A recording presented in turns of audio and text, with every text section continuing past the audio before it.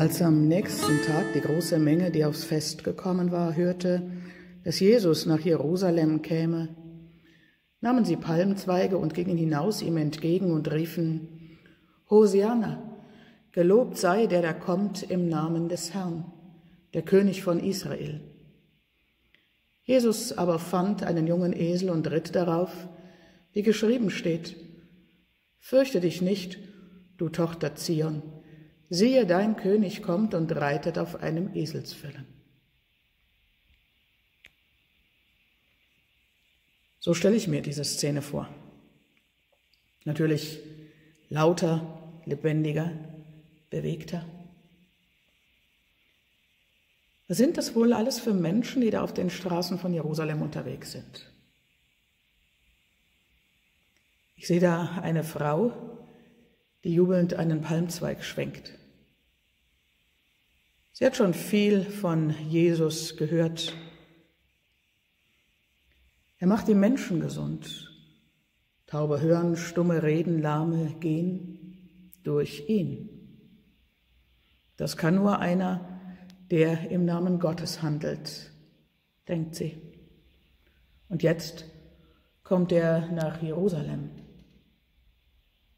Wenn das mal kein Zeichen ist, hoffentlich ganz bestimmt bricht jetzt eine neue Zeit an und Freiheit liegt in der Luft.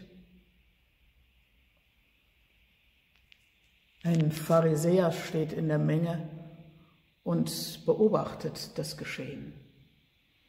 Er kennt sich aus mit den heiligen Schriften des Judentums.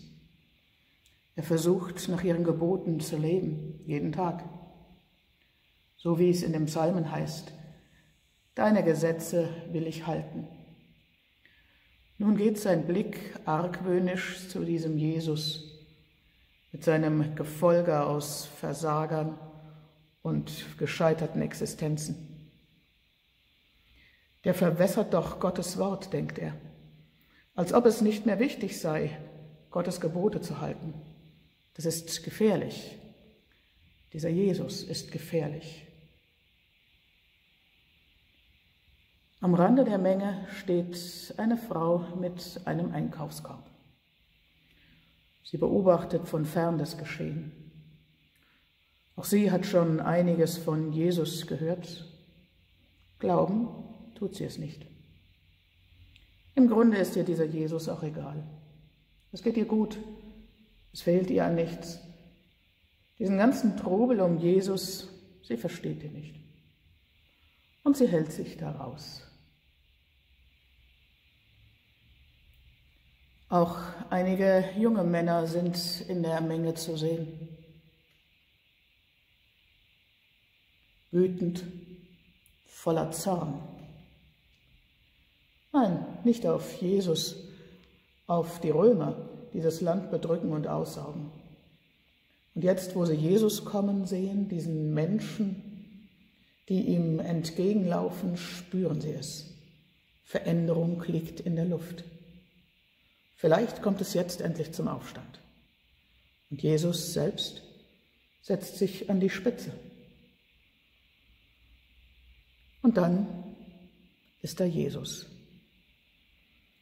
Auf einem Esel zieht er in Jerusalem ein. Nicht auf einem Pferd. Ein Pferd steht für Macht und Größe. Nein, auf einem Tier, das trägt und schleppt. Jesus steht nicht für die Macht, die über andere herrscht. Er ist der, der sein Leben für andere gibt und die Lasten anderer trägt. Und die Jünger, in dem Moment verstehen sie überhaupt nicht, was da passiert. Erst nach Ostern, in der Rückschau, gewinnt der Einzug in Jerusalem für sie Bedeutung und beginnen sie zu verstehen. Wenn wir heute auf den Einzug in Jerusalem schauen, schauen wir auch zurück. Aber genauso wie den Menschen damals stellt sich auch uns eine ganz bestimmte Frage.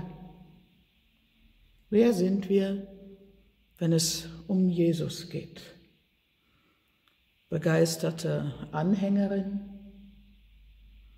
Zweiflerin, Gleichgültige, Gegner?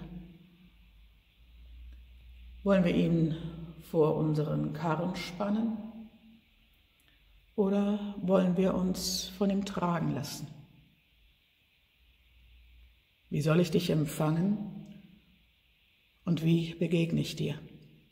Das ist die Frage.